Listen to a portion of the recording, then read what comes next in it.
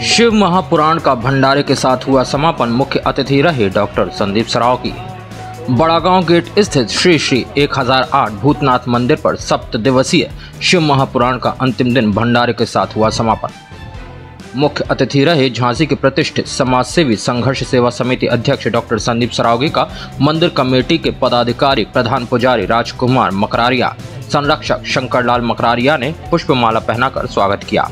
स्वागत पश्चात कथावाचक परम पूजनीय परमानंद महाराज ने डॉक्टर संदीप को शॉल व श्रीफल भेंट कर शुभाशीष दिया।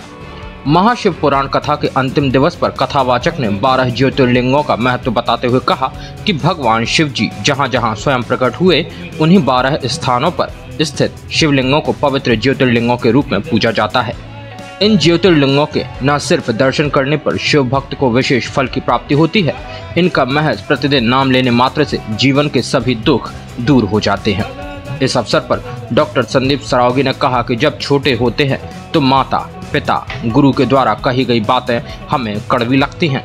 बड़े हो जाते हैं और समय निकल जाता है तो माता, पिता और गुरु के शब्द हमारे कानों में गूंजते हैं। फिर हमें ज्ञात होता है कि हमने उन अमृत वचनों को हल्के में लिया।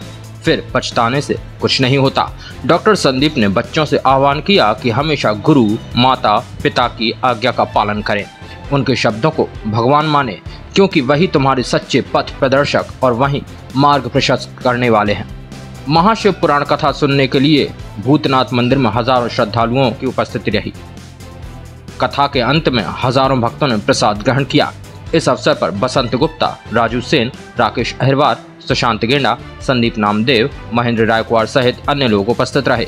कार्यक्रम के संयोजक ब्रजेंद्र कुमार मकरारिया एवं सभी श्रद्धालुओं का आभार अरुण मकरारिया ने व्यक्त किया। पुष्पेंद्र श्रीवास के साथ नेहा श्रीवास की report, Bundelkhand today news Jhansi.